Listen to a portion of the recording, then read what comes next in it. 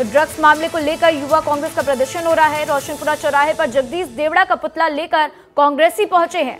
तो ड्रग्स मामले के आरोपी के साथ लगाई गई है जगदीश देवड़ा की तस्वीर और ये तस्वीरें आपकी टीवी स्क्रीन पर हैं, जहाँ पर आप देख सकते हैं कि इंजेक्शन सिरिंज भी आपको दिखाई देगी। युवा कांग्रेस कर रहे डिप्टी सीएम के इस्तीफे की मांग तो लगातार दो दिनों से इस्तीफे की मांग की जा रही है। तस्वीरें आप देख सकते हैं। जगदीश देवड़ा की तस्वीरें जो है, पोस्टर में लगाई गई हैं। आपको बता दें कि जब से डिप्टी सीएम जगदीश देवड़ा की तस्वीरें आरोपी के साथ दिखाई दी हैं, उसके बाद से ही कांग्रेस ने इसके ऊपर पलटवार किया है और बार बार कांग्रेस उनके इस्तीफे की मांग भी कर रही है।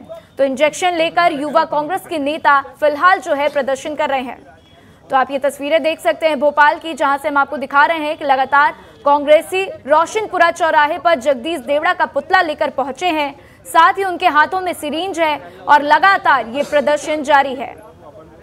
तो इस खबर पर ज़्यादा जानकारी के लिए मेरे सहयोगी सूरज तिवारी मेरे साथ जुड़ चुके हैं। उनका रुख करते हैं। सूरज, क्या कुछ तस्वीरें देखने को मिल रही है? जगदीश देवड़ा का पोस्टर उनके हाथों में है, सिरिंज उनके हाथों में है और क्या कुछ देखने को मिल रहा है? एक बार विस्तार से बताइए।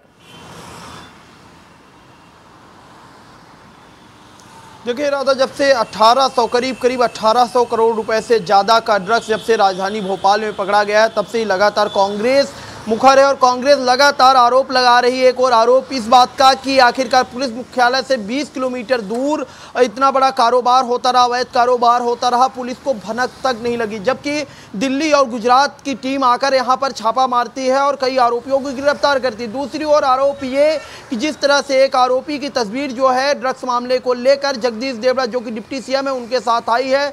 तब से लगातार कांग्रेस कह रही है कि पूरे प्रदेश को भाजपा सरकार ने, मोहन सरकार ने ड्रग्स ड्रग्स की ओर यानी नशे की ओर धकेल दिया है। इसी सिलसिले में कांग्रेस आज राजधानी भोपाल के रोशनपुरा चौराहे पहुँची जहाँ पर यूथ कांग्रेस ने बिल्कुल नज़र बनाकर रखिएगा सूरज इस खबर पर जैसे ही अन्य अपडेट आएँगे हम आपका फिर करेंगे।